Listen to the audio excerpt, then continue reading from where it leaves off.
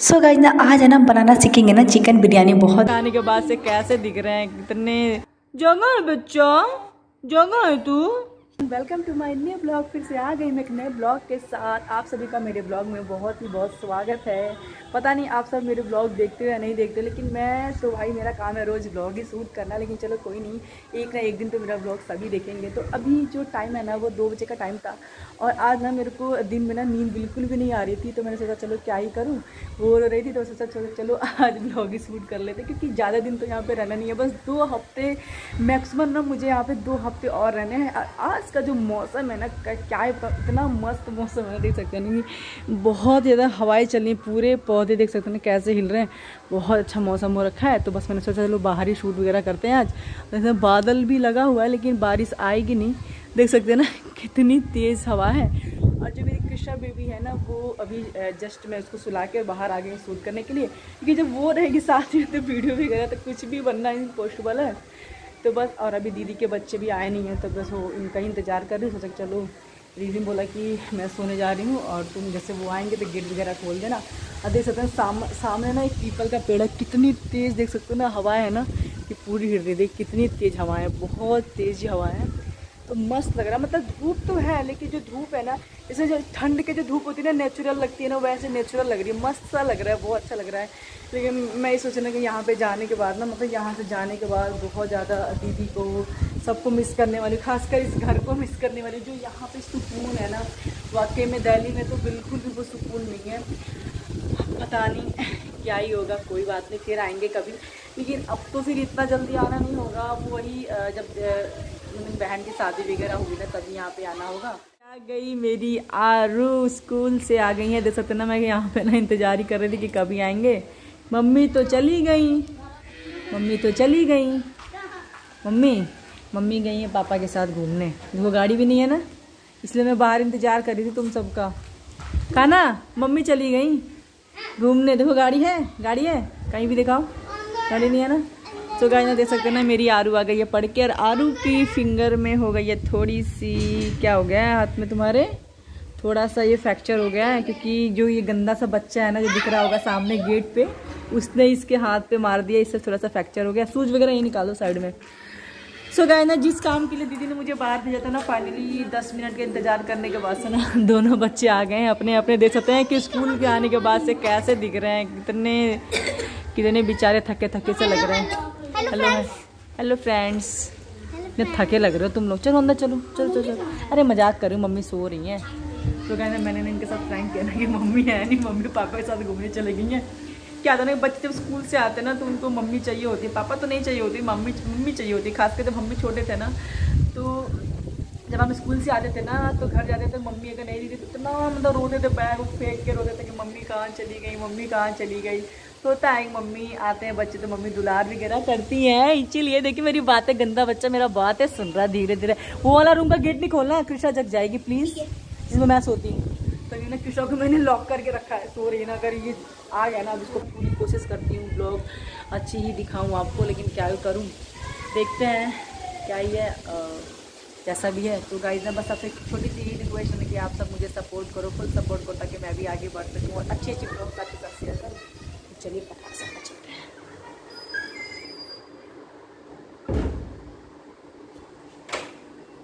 तो चलिए बच्चे आ गए और मैं धीरे धीरे बोलने लगी फिर से, क्योंकि कृष्णा भी मेरी सो रही है ना, इस रूम में देख सकते हैं ना। कृष्णा भी सो रही थी। ओ भाई ओ भाई। जग गई है क्या? सग गई है। किच्चू। ओ भाई ये तो जगी हुई है। किशा जगह है बच्चा। जगह है तू। जगह है। जगह है।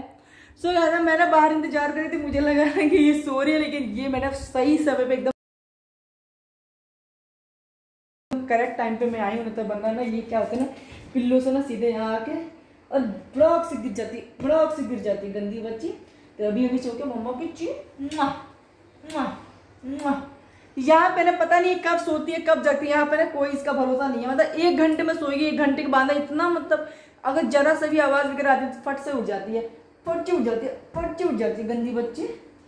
क्या कर रहा है बुद्धू को कर रहे को कर रहे अल्लाह बाप ले मम्मा खींची कर रहा है सुबह सुबह सुबह का टाइम नहीं हो रहा है अभी। इसका तो इसकी लाइफ ठीक है। गाइस इसकी लाइफ ठीक है। आराम से सोना है, दूध पीना है और पोटी करना है। बस इसकी तो नहीं लाइफ है और नहाना है। कोई टेंशन नहीं है इसको। देखो कैसे जब मैं बात कर रही हूँ कैसे मेरे मुँह को देख रही है। पता क्या है कि मैं कुछ भी बात करती हूँ ना मतलब कोई भी तो अपने आप को ना मतलब अपने फेस को देख रिएक्शन देती है। और मेरे को देखो कैसे देख रही है कि मैं क्या ही बोल रही हूँ, क्या नहीं बोल रही हूँ। मैं आपसे ही बात कर रही हूँ। हाँ आपसे ही बात कर रही हूँ। मैं छोनो बेटे से अपनी बहुत ही कर रही हूँ। हाँ। अब मुझे ना, मुझे तो एकदम से पहचाने लगी है। शाम के टाइम में ना कोई भी माई का लाल नहीं हो सकता ना, जो इसको गोद में ले ले मेरे अलावा। अगर किसी ने भी ले लिया इसको गोद में, इतना चिल्लाएगी इतना चिल्लाएगी इरिटेट कर देती है, क्योंकि मुझे ना पूरी तरह से पहचानने लगी, क्योंकि मैं इसकी मम्मा हूँ अच्छा बेटा अच्छा अच्छा अच्छा अच्छा अच्छा ओ भाई बीवी के छत का ब्लॉक सो गाय चलिए फिर उठ गई है, सो के अभी थोड़ा सा दूध वगैरह देते हैं, और फिर जो भी ब्लॉग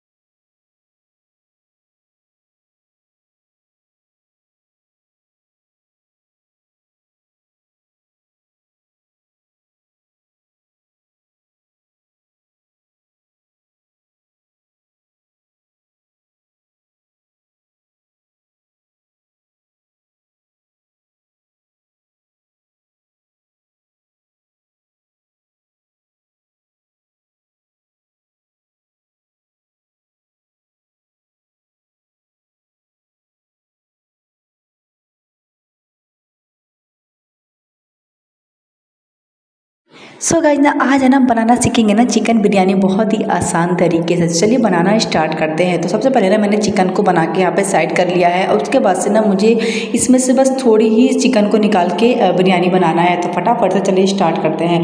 पहले मैंने लिया एक कुकर कुकर में थोड़ा सा देसी घी डाला है, इलायची डाला है, लौंग डाला है। उसके बाद से कुछ ड्राई फ्रूट्स को डाल के, टमाटर डाल के अच्छे से उसे मिक्स कर दिया है। उसके बाद से गाय दे सकते हैं ना कि मैंने चावल को ना अच्छे से वॉश कर लिया है। उसके बाद से इसमें हम चावल को ऐड करेंगे। सो so गाइस चावल को अच्छे से मिक्स कर लेंगे, उसके बाद इसमें हम डालेंगे जो चिकन मैंने बना के रखा था ना, वो चिकन इसमें हम मिला लेंगे उसमें से इसमें डालेंगे पानी और उसके बाद से इसमें डालेंगे बिरयानी मसाला, जो बिरयानी को ना चार चार लगा देगा, बस धनिया बिरयानी है बहुत ज़्यादा